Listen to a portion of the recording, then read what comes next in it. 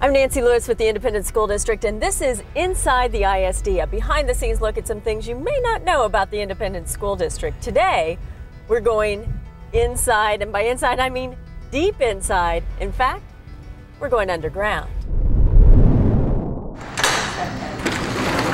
We're headed into the Executive Park Space Center on Geospace Drive here in Independence. Well, this used to be a, a mine years ago.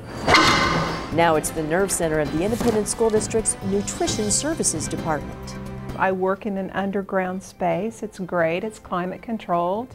I never have to deal with the elements. It's perfect for operations for the business because, again, easy access in and out, trucks never having to load or unload in the elements. It's wonderful. We love our cave. It's a never-ending operation. Groceries and supplies arrive here daily, enough to feed more than 14,000 students a day.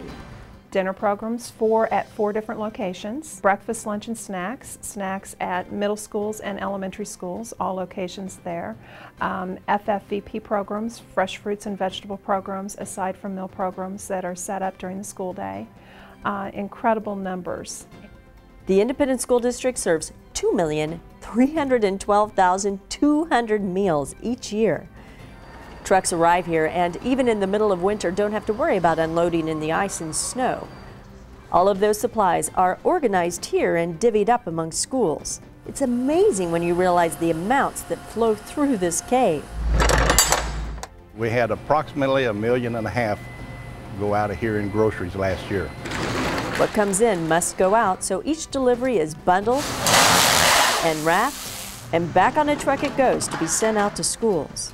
Now you know what this place does have, a lot of activity, climate control, but there are a couple of things that it does not have. Are there any bats in here? No, ma'am. That's right, a cave without bats. There's also no satellite reception. Absolutely no cell phones, no Blackberry, nothing like that works. So you're strictly tied to landline.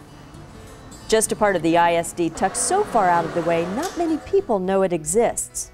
That's inside the ISD.